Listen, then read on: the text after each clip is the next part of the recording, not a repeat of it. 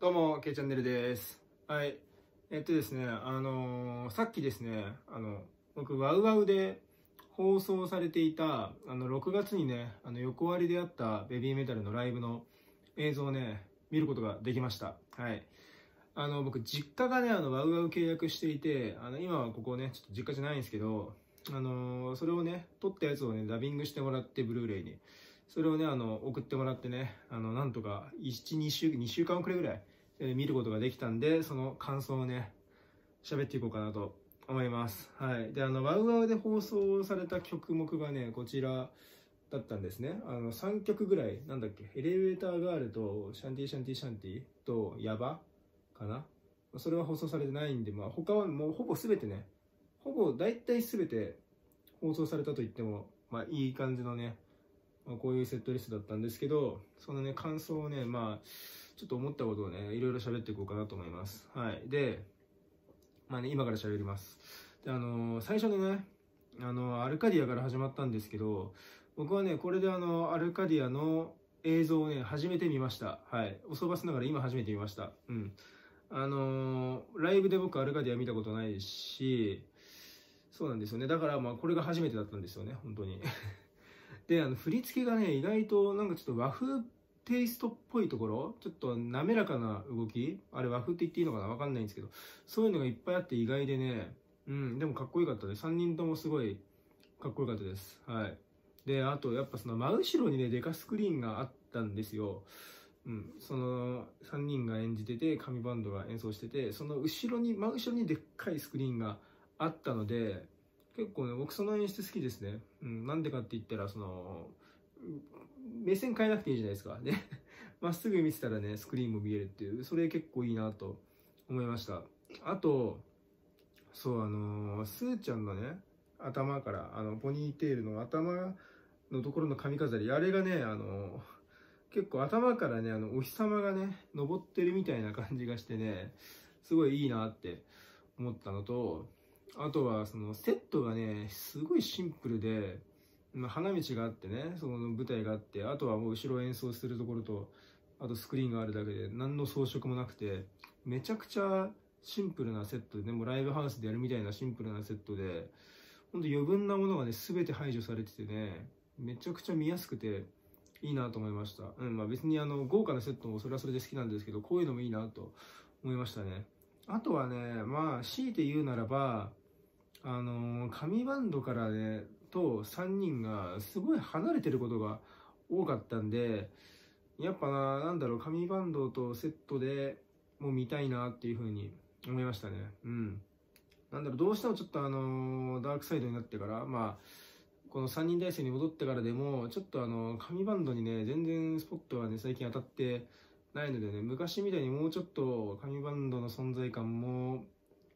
大きくしてほしいなっていう気はするんですけども、まあ、まあそれは 僕の勝手な思いなんで、まあいいです。で、あとは、そうだな、ディストーションがね、始まる前の演出あるじゃないですか、あの、イントロで煽ってくるやつ。あれは僕ね、最初慣れなかったんですよね。なんか、最初聞いた時あれこれ始まんの始まんないのみたいな感じでちょっと戸惑ってみたいな 感じだったんですけどね、今はね、これを聞いたらね、すごい上がりますね。お、来るぞ、みたいな。で、あのね、おーおーおーっていう風に叫ぶのもすごいいいし、うん。あとは、その、そう、モアちゃんのね、ダンスなんですけど、その、キレの、めちゃくちゃ終始キレのある動きがしてるのはまあもちろんなんですけど、それに合わせての、あの、訴えかけてくるような目線がね、すごい、もうなんか可愛くて好きだなっていう風に思いました。うん。あと、そうだな、この日の、このライブを見てて思ったのがね、そう、スーちゃんがね、全体的になんか優しい感じがしてね、もう険しい感じがほぼなくように感じて、すごい、なんか声もそうだし、表情もそうだし、終始なんか優しい感じがしましたね。うん。あとそう、この日のね、スーちゃんの前髪がね、すごいおしゃれで、なんか可愛いなっていうふうに 思いました。はい。で、そう、あとスターライトの時のね、そのライトの演出、なんかストロボみたいな。あれがなんか本当神秘的でね、もうまさになんか宇宙を連想させるような感じで、後ろのスクリーンの映像もそうだけど、うん。やっぱスターライトってなんかやっぱベビーメタルの中でちょっと異質な曲な気がしますよね。異質な曲な気がしますね。うん、その演出もすごいいいなって思いましたね。うん。あと、この日の3人目のサポート、アベンジャーズがね、まあ、かのちゃんだったんですけど、藤平かのちゃんだったんですけど、もう全然違和感ないしね、ちょっと、そのね、モアちゃんにね、もちろん似せてる感じの、ね、衣装というか格好にはしてるんですけど、すごいなんか溶け込んでてね、全然違和感なくて溶け込んでてね、びっくりしましたね。やっぱライブ通してみて。うん。そうだな、あと、そのパパヤの時のね、パパヤは本当ライブがね、めちゃくちゃ楽しいですね、本当に。うん。なんだろう、このアルバム、サードアルバムの中では、なんだろう、セカンドにおける空手的な位置のリード、リード曲的な感じなのかも、な、そんな感じなのかな。うん。うん。あとまあ、その2番の途中の、で、一瞬スーちゃんがね、ウインクするところ、あそこめちゃくちゃかっこいいですね。本当にかっこいいです。うん。あと、そうだね。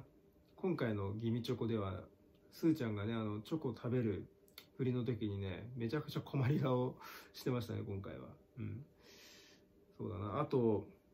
そう、あの、空手で、空手の振りで途中ジャンプするところあるじゃないですか。小刻みに、小刻みにジャンプするところあるじゃないですか。あそこのね、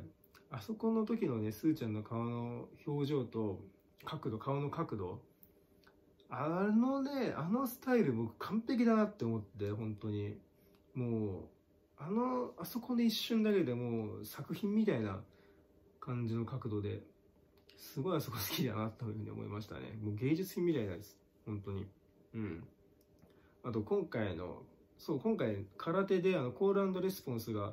なかったんですけど、まあ昔の元の、昔そうだったじゃないですか。そんな感じだったんですけど、最近コールレスポンスがあること多いんですけど、でもね、僕は空手のダンス、振りは、あの、コールレスポンスあるよりも、このね、スーちゃんが横の二人を起こすような、ちょっと芝居がかった振り。あっちの方が僕は、どっちかと言ったら好みかなっていうふうに思いましたね。そっちの方がなんか好きですね。うん。あと、ザ・ワンのね、アンフィニッシュドバージョンだったんですけど、今回は。やっぱあのバージョン見るとね、やっぱ僕どうしてもね、広島のね、ライブをね、思い出すんですよね。広島のライブのザ・ワンすごい印象的だったんで、うん。あと、そう途中でね、あの元のバージョンになって2人が出てくるじゃないですか、横から。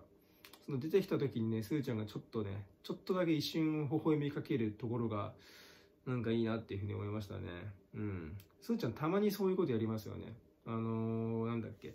武道館、昔の武道館であの、ゆいちゃんが落下しちゃって、その、後のね、最後の曲のいじめが始まる時に、すーちゃんがちょっとゆいちゃんの方を見てね、微笑みかけるシーンとか、やっぱああいうなんだろうな、さっきのパパイのウィンクもそうだけど、一瞬見せる、その、なんだろう、なんだろう、その、緊張感がほぐれたような一瞬見せる、すーちゃんの表情みたいなのはね、本当にね、癖になりますね、僕は見てて。はい。あとは、そう、その、ザワンの時に思ったのが、あの、もあちゃん本当にね、腕長いなって思いましたね。あのー、そう、あの、すーちゃんは、あの、ちょっとね、薄い黒がかったレースのやつを腕につけてるんですけど、まー、ちゃん何もつけてないんで、それでね、上伸ばした時に、あ、腕長いなっていうふうに 思いました。あとは、本当にね、もあちゃんはね、もう美人さんになりましたよね。うん。昔はね、もうただ、ね、もう可愛いなっていう感じだったんですけど、最近のまーちゃんも本当に美人さんですよね。もう可愛いって言ったらなんか失礼な感じがするぐらいの美人さんになって、うん。なんか僕もね、昔はその、なんだろう、自分より全然下の子を見てるみたいなイメージで見てたんですけど、最近はね、本当にもう、なんだろう、もう、あ、お姉さんだなっていう感じで見てますね、もあちゃんは。本当美人さんになったなというふうに思いました。はい。で、そうですね、 Road of Resistance で、 Road of Resistance は、ね、僕はアベンジャーズになってからの Road of Resistance を見るたんびに思うのが、あの、最初のね、あの一番の心は一つって言って、あの3人で同じ場所を指さすところあるじゃないですか。あそこがね、アベンジャーズになってからね、なおさらグッとくるようになりましたね。うん。今回、かのちゃんだったんですけど、なんかこの感じ分かってくれる人いるかな。うん。あとはそう、最後の、ね、あの、ウォーウォー治りの時にさ、あの、モアちゃんがお客さんの声聞く時に、あの、両、両手でなんかこういう風に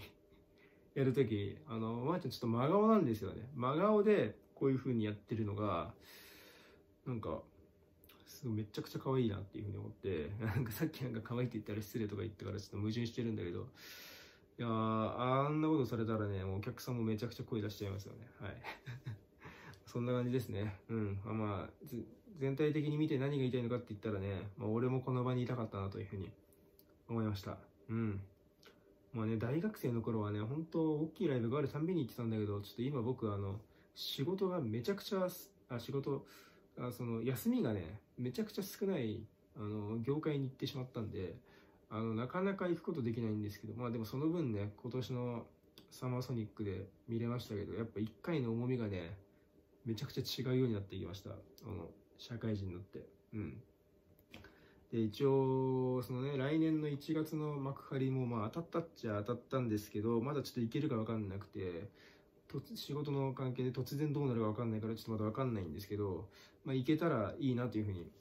思ってます。はい。まあその時はまたね、感想とかいろいろあげたいと思います。またこれからもベビーメタルの話いろいろとしたいんですけど、なんか、なんでもいいんですけど、こういう話しろよみたいなのあったらね、全然コメント欄に書いてくれたら嬉しいです。はい、以上ここまで聞いてくださってありがとうございました。See you.